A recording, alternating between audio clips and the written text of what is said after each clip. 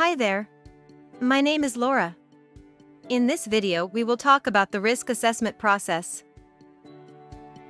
The next step after the risk identification is the risk assessment process. Risk assessment forms an integral part of the overall risk management process. It provides current and up-to-date snapshot of the risks to the business. The risk assessment process involves analyzing risks as well as their likelihood and impact on the organization's critical business functions. It also analyzes existing security controls as well as defines additional safeguards to mitigate the identified risks. Before the risk assessment is started, it is necessary to identify its scope. Risk assessment can focus on physical, technology, or personnel security.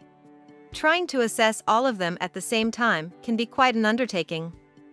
Some of the factors affecting the risk assessment scope include organizations' compliance requirements as well as time and budgetary constraints. The scope of the assessment is defined by the company's senior management. They must appoint a team to carry out the assessment and allocate the necessary time and funds to conduct the assessment.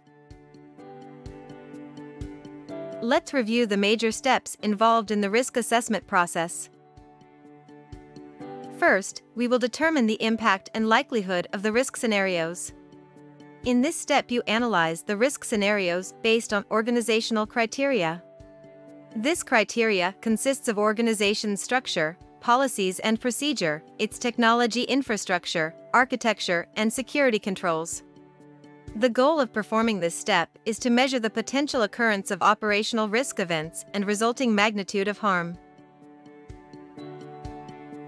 After determining the likelihood and impact of risk, it is necessary to determine the severity of the risk. In this step you can utilize the risk criteria to calculate risk severity by assigning scores to its likelihood and impact. The goal of risk analysis is to ensure that security is cost-effective, relevant, timely, and responsive to threats. There are two main risk analysis techniques. Quantitative risk analysis quantifies the risk and assigns it monetary or numerical values. Qualitative risk analysis assigns ratings to the risks such as red, yellow, and green or high, medium and low. Next, you perform data and control gap analysis to analyze the efficacy of existing security controls as well as identify any improvements for mitigating risk. Data analysis is the review of information available from different sources such as applications, logs, audit reports, etc., to determine the state of controls. Gap analysis identifies the difference, or gap, between the current state of the controls or risk and its desired state. The purpose of this step is to measure the capability and maturity of the risk management processes of the organization. Finally, it is very important to record the results of risk assessment in the company's risk register. This risk register include details such as risk severity, current control state, risk owner, treatment plan, and much more. The results of the risk assessment process should be compiled into a risk assessment report and submitted to senior management. This report should also include the recommended ways to deal with the risk. Risk assessment helps senior management make informed decisions about implementation of security controls to mitigate risk. Risk assessment should take place at regular time intervals or after a major organizational change.